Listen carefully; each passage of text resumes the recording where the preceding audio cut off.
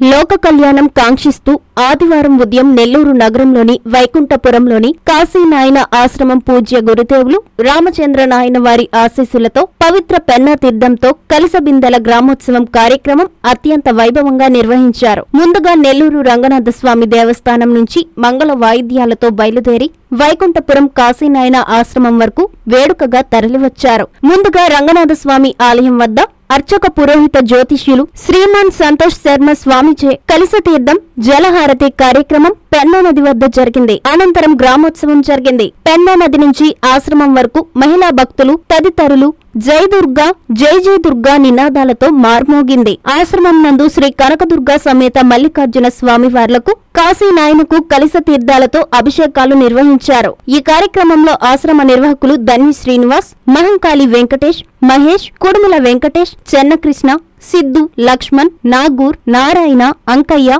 గణేష్ చంద్ర తదితరులు పాల్గొన్నారు. జై శ్రీరామ్.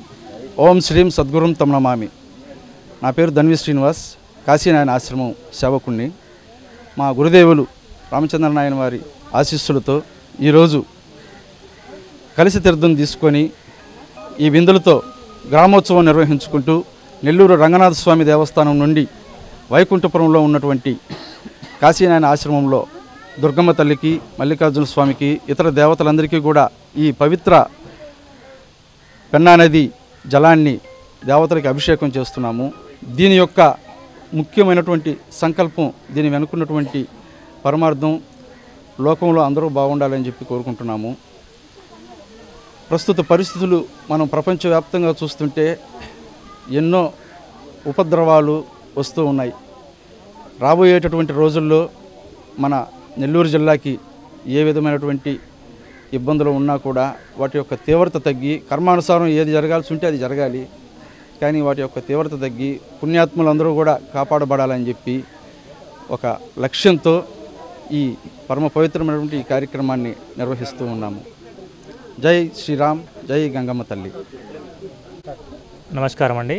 శ్రీ గురుభ్యో నమ. నా పేరు సంతోష్ శర్మ.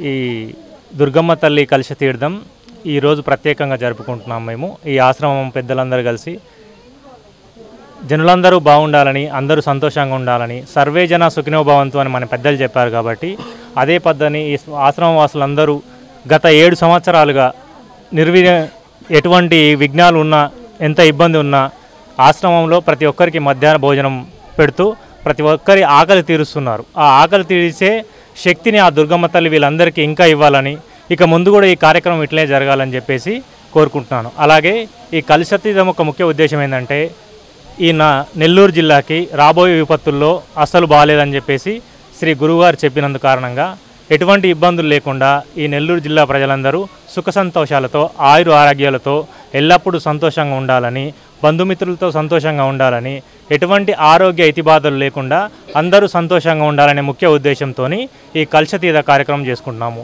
ఇటువంటి కార్యక్రమాలు ఈ ఆశ్రమం తరపున ఇంకా ఎన్నో జరపాలని అందరూ సంతోషంగా ఉండాలని ప్రతి ఒక్కరూ ప్రతిరోజు ఒక పూటైన భోజనం చేసే శక్తి అందరికీ ఇవ్వాలని చెప్పేసి ఆ దుర్గమ్మ తల్లిని కోరుకుంటూ నమస్కారం.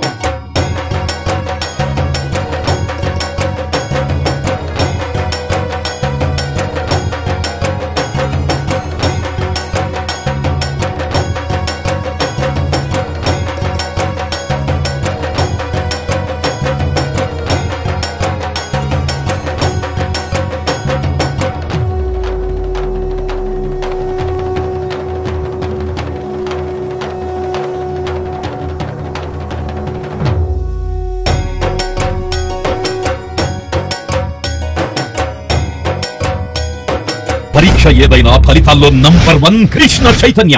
నేటి ఐఐటి జేఈఈ మెయిన్ రెండు వేల ఇరవై మూడులో ఒకే క్యాంపస్ నుండి జాతీయ స్థాయిలో అత్యద్భుతంగా ninety nine point four zero ninety nine point zero seven ninety nine point zero seven పర్సెంటైల్స్తో సహా తొంభైకి పైగా పదహారు మందితో మొత్తం ఎనభై మూడు మంది ఒకే క్యాంపస్ నుంచి ఐఐటి అడ్వాన్స్డ్కి క్వాలిఫై కావడం ఒక్క కృష్ణ చైతన్యకు మాత్రమే సాధ్యం. కృష్ణ చైతన్య విద్యా సంస్థలు నెల్లూరు.